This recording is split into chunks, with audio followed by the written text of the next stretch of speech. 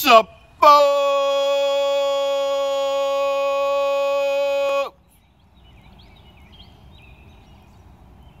RVP here.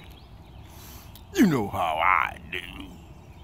Got up this morning, walked that old dog, and took my CR7 drive. Oh yeah. Anyway, I decided to change up a little bit this morning. You know what I mean? Didn't even do my regular cardio. Gotta keep the body guessing, you know what I'm saying? So I decided to do a little HIIT this morning. What I did is jumping jacks.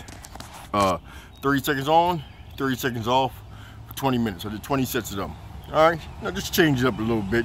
You know what I mean? Got to keep that blood moving. Yeah, grooving. Yeah, you know what I mean? Doing my thing. So, feeling pretty good. You know what I mean?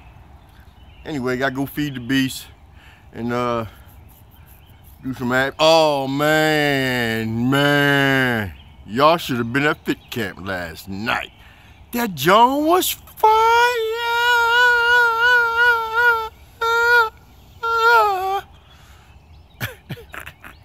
anyway, that should have been a Fit Camp. You know what I mean? Come on out next Wednesday. Holla at your boy. You know what I mean? Get your nice workout in. You gotta get that, that healthy, active lifestyle. You know what I mean?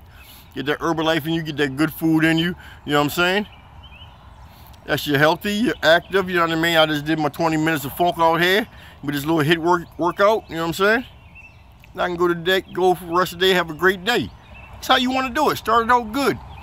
Three, four days a week. You know what I mean? This is my fourth day exercising this week. You know what I mean? I got five workouts in because I did. Anyway, anyway.